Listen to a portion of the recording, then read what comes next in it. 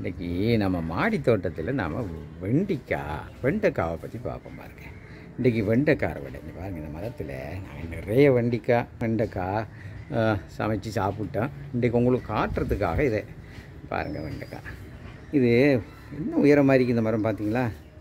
நம்ம உயரத்துக்கு வந்துட்டு இந்த மரம். இதுலேயே ரெண்டு மூணு வெண்டைக்காய்.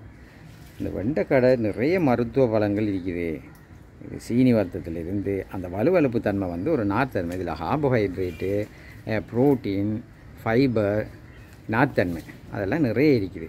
அவை இவையெல்லாம் நமக்கு கொலஸ்ட்ராலை குறைக்கிறதுலேருந்து சீனி அந்த இன்சுலின் தொழிற்பாட்டை கூட்டுறதுலேருந்து உடல் எடையை குறைக்கிறது இன்னும் நம்மளோட அந்த மூளை வளர்ச்சியை கூட்டுறது இப்படி பல பலன்கள் இருக்குது. இரத்தத்தின் அளவை கூட்டுறது இதெல்லாம் நிறைய இருக்குது. அந்த வலுவலுப்பு தன்மை வந்து அந்த நார்த்தன்மையான அந்த வலுவலுப்பு வந்து நம்ம குடல்களில் போய் செய்கிறதால அது சமிபாட்டை கூட்டி நமக்கு இந்த கேன்சர் போன்ற வருத்தங்கள் வாரத்தை கூட தடுக்குதான். இன்றைக்கு நம்ம அறுவடை இந்த வெண்டிக்காய். இந்த வெண்டிக்காயிலையும் பாருங்கள் இது பச்சை நிறமானது. நாங்கள் ரெண்டு வகையான வெண்டிக்காய் வச்சுருக்கோம். ஒன்று பச்சை இன்னொன்று சிவப்பு. நாங்கள் நாளைக்கு சிவப்பை பற்றி பார்ப்போம்.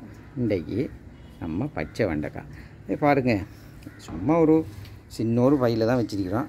இப்படி வச்சு நீங்களும் செய்யலாம். இந்த பிரச்சனையும் இல்லை. நாடு இருக்கிற நிலைமைக்கு எல்லாம் சிறுவர்களுக்கெல்லாம் சின்ன பிள்ளைகளுக்கெல்லாம் கொடுத்தா அவங்களோட மூளை வளர்ச்சி அவங்களுக்கு ஹீமோகுளோபின் ரத்தம் ஊடுறது அவங்களோட எலும்புக்கு இதில் கனிவுப்புகள்லாம் நிறைய இருக்குது பாருங்கள் அதெல்லாம் எலும்பு வளர்ச்சிக்கெல்லாம் உதவும். கட்டாயம் நீங்களும் செய்யுங்க. ஆரோக்கியமாக வாழுங்க.